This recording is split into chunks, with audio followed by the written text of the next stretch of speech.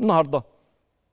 على جانب آخر النادي المصري البورسعيدي بدأ يتحدث عن فكرة أحقيته في مش في المشاركة في بطولة سوبر الأبطال القادمة. أنتوا عارفين كان اتحاد الكرة خلاص أعلن إنه الأهلي هيشارك في هذه البطولة بصفته بطل الدوري ومعه فريق بيراميدز ومعه سيراميكا آه، كليوباترا ومعه فيوتشر أو مودرن فيوتشر بمسماه الجديد. المصري تدخل في هذا الأمر وقال أنا من حقي إن أنا أشارك بصفتي كمان كنت وصيف لكأس الرابطة. نفهم أكتر ونعرف أكتر إيه هي طلبات النادي المصري. لو هي طلبات منطقية اللي هيبعتها أكيد أو أكيد بعتها لاتحاد الكرة. نفهم من الأستاذ رجب عبد القادر نائب رئيس النادي المصري البورسعيدي. يا فندم مشرف ومنور سعيد بتواجدك معايا.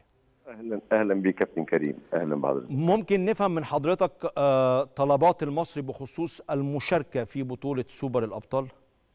والله إحنا يعني لاحظنا إن إن الاختيار مش مش فير قوي الضلع الرابع كان المفروض في البطولة نادي الزمالك ولأنه اعتذر قبل كده فتم استبعاده. إحنا وجدنا إن النادي المصري كان وصيف كأس الرابطة ونادي جماهيري من شأنه أن يضيف للقيمة التسويقية للبطولة. فقلنا إن إحنا جديرين بإن إحنا نشارك. آه، كرابع في البطولة دي وتركنا الأمر للرابطة أو للجنة المسابقات إن هي تختار لكن برضو بنؤكد على أحقيتنا لأن لو جينا نفاضل نقول إن كأس الرابطة أقرب للمشاركة من رابع الدوري مم. اللي هو نادي فيوتشر. لكن الاختيارات بتتم إزاي أو الضوابط إيه لأن إحنا لما اتكلمنا مع أحد أعضاء مجلس إدارة الرابطة قال إن ما فيش لائحة بتحكم عملية المشاركة دي لكن الواضح إن الأمور فيها شيء من العشوائية شوية. عشوائية. طيب ما هو ده كان السؤال اللي جاي. يعني يا أستاذ رجب هو ما اتبعت لكمش في أي لحظة من اللحظات لائحه لهذه البطولة؟ يعني ما قالكش كنادي مصري من بدري خد بالك إن إحنا هنعمل بطولة فيها أربع فرق اللائحه بتاعتها كده المشاركين هيبقى كده؟ ما أنا بقول لحضرتك إحنا. آه، آه، إحنا رجعنا لأحد أعضاء مجلس إدارة الرابطة ونقول له إدينا صورة من اللائحة اللي بتحكم الاختيار. آه. قال إن إحنا ما فيش عندنا لائحة بهذا الشأن. تمام. طيب هل طلب المصري ده هو مجرد طلب ولا في تصعيد؟ يعني لو مثلا الطلب ده اترفض خلاص الموضوع بالنسبة لكم لا؟ لا لا ما يعني ما اعتقدش إن إحنا نوصل لتصعيد في هذا الأمر. آه. لكن إحنا بنسجل موقف وبنقول إن إحنا احق بس محتاجين توضيح على أي أساس تم اختيار فيوتشر كرابع في المشاركة في هذه البطولة. مفهوم. طيب في جزئية أخرى تخص النادي المصري وهي أيضا مسار جدل والنادي المصري أصدر فيها بيان أمس بيان يعني بين قوسين زي ما بنقول إحنا في الشكل الإعلامي شديد اللهجة وفيه كلمات مهمة وصريحة وقوية فيما يخص قيد الثنائي أحمد عيد وأحمد أيمن منصور. الوضع بالنسبة لهم إيه مع اتحاد الكره حاليا يا فندم؟ آه، اتحاد الكورة مصر على إنه يجمد آه، اللاعبان وقال إن هو بصدد احالتهم للتحقيق آه، باعتبار آه، وفقا للشكوى اللي جت له من نادي الزمالك إن هم موقعين في نادي الزمالك. لكن إحنا لو دورنا النادي المصري عمل إيه النادي المصري دخل على ال system للاستعلام لقى اللعيبة free اللعيبة آه، وقعت عقد مع النادي المصري وقدمت رغبة في الالتحاق أو الانضمام للنادي المصري. آه. لو في أي تحفظ أو حاجة كان لازم نلاقيها على ال system وال system ما يقبلش صح. اللعيبة. صح. أما وإن ال system سمح لنا بالقيد فأعتقد إن إحنا سلكنا مسلك قانوني وأعتقد إن ده حق أصيل للنادي المصري إن اللعيبة تكون آه، بتحقق رغبتها في الانضمام للنادي المصري للموسم اللي جاي. طيب أنت امبارح في البيان بيان النادي المصري بيقول لاتحاد الكرة لو أنت مش قادر تاخد قرار في هذا الأمر آه، فأنا بعفيك من الحرج وأنا أصعد الأمر للفيفا. آه، ليه ليه اتحاد الكرة يبقى عنده حرج في هذا الأمر؟ ما هو أنا شايف إن الأمور آه، ال- الأمور يا كابتن كريم يعني عملنا أزمة من غير من غير لازمة يعني. النهارده إذا كنت أنت سمحت لنا كسيستم إن إحنا نأيد اللعيبة وعندنا عقود سليمة وعندنا إجراءات قانونية اتبعناها فلماذا الإيقاف؟ ثم إن ما فيش قرار إيقاف بدون تحقيق. صحيح. طب التحقيق ما فيش تحقيق. مم. طب إحنا النهارده إذا كانت اللعيبة أديرت واللعيب لما يدار من جراء النادي اللي هو ماضيله زي ما هم بيقولوا في ال- في الشكوى آه. آه، عنده إيقاف قيد آه، أكتر من فترة معنى هذا الكلام إن في ضرر وقع على اللاعب صح لوائح ال- الاتحاد الدولي بتقول إن اللاعب لو وقع عليه ضرر وله مطلب عادل فهو من حقه إنه يفسخ العقد من طرف واحد. ف ف الحاجة الثانية لو كان في تحفظ على وجود اللعيبة هم مش free.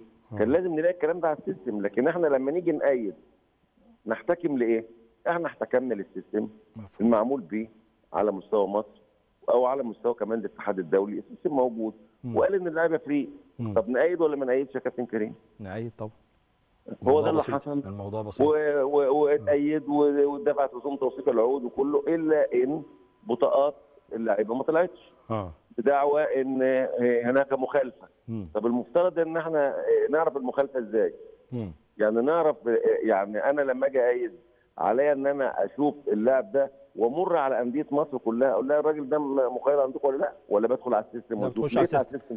طيب أستاذ رجب. أستاذ رجب أنا عايز أبقى أكثر وضوحا هل مطلوب من النادي المصري إنه يدفع مقابل الاثنين لعيبة لنادي الزمالك عشان ال- الإمضاءات اللي هم ماضيينها لنادي الزمالك؟ هل ده كان مسار مسار عفوا مسار حديث بين نادي الزمالك والنادي المصري في الفترة اللي فاتت واتحاد الكره سايبكم تخلصوا الموضوع مع بعض وبعد كده ناخد قرار؟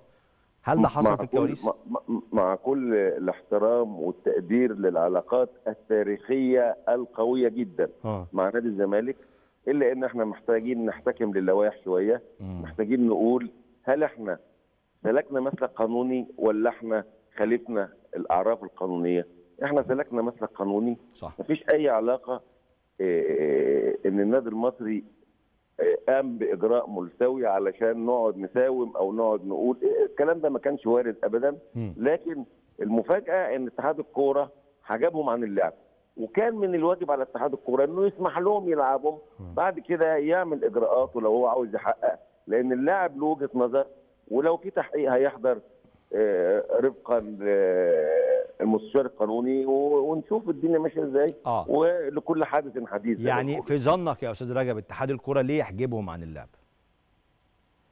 آه، اتحاد الكره بيعمل أعتقد يعني إن هو بيعمل توازنات آه، نادي الزمالك آه، له مطلب النادي المصري له مطلب مم. واعتقد إن هو يعني بيطبق بند في اللائحة ما بتنطبقش على الحالة دي. مفهوم مفهوم ولو اختلفنا في التفسير ففي مستشار قانوني قال ومستشار قانوني دولي قال إن اللاعب لو وقع عليه ضرر فعليه إن هو يخسر اتحاد الكورة ويخسر النادي بإن أنا متضرر من وعدم وجودي في الملعب وأنا بفتح عقدي وعليا إن أنا أختار أنضم لاي نادي عظيم جدا. طيب سؤال في جانب آخر يا أستاذ رجب بعد إذنك. هل فعلا الكابتن علي ماهر طلب من إدارة النادي المصري التحرك للتعاقد مع عمر كمال عبد الواحد؟ عموما يعني آه، آه، في تنسيق كامل بين الكابتن علي ماهر كمدير فني على مستوى كبير آه. وبين الأستاذ كامل أبو علي رئيس مجلس الاداره شخصيا. آه، آه، أما وإن القيد آه، الأول اتقفل فإحنا منتظرين في يناير هيكون له مطالب هنقدر نحققها. لكن إحنا آه، في تنسيق كامل. مع كابتن علي ماهر كمدير فني مفهوم خلاص أستاذ رجب عبد القادر نائب رئيس النادي المصري البورسعيدي أنا بشكر حضرتك شكرا جزيلا على هذه التوضيحات المهمة في كثير من القضايا المتعلقة بالنادي المصري في الفترة الحالية. إدارة محترمة جدا على فكرة بالمناسبة إدارة النادي المصري شغالة بهدوء وذكاء وبدعم كبير جدا لفريق الكرة. عشان المصري بدايته في الموسم حلوة صحيح خسر المباراة الأولى أمام النادي الأهلي ومع حامل اللقب يعني والفريق الأكثر جاهزية بس كسب المباراتين اللي بعد كده في الدوري فالانطلاقه مع كابتن علي ماهر ومجموعة اللاعبين الحاليين رائعة جدا بالنسبة للمصري.